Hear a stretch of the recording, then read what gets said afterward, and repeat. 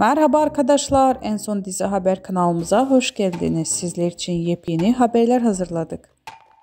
Alkol kullanıp ardından sosyal medyada yaptığı paylaşımlarla olaylara imza atan Kırmızı Odanın Saidi Erkan Petekkaya itiraflarıyla şaşırttı. Erkan Petekkaya tedavi için Rusya'ya gittiğini ve beyni yıkadıklarını açıkladı. Alkol sorunu için Rusya gittiğini söyleyen Erkan Petekkaya Rusya gittim, beynimi yıkadılar. Bir doktor bana bir iğne yaptı. Bu iğneden sonra 24 saat uyuyacaksın ve bir daha hiç içmek istemeyeceksin dedi. Bunun için geldim, yap dedim. Gerçekten iğneden sonra 24 saat uyudum ve uyuduktan sonra hiç içmek istemedim. 6 ay sürdü ifadelerinde bulundu.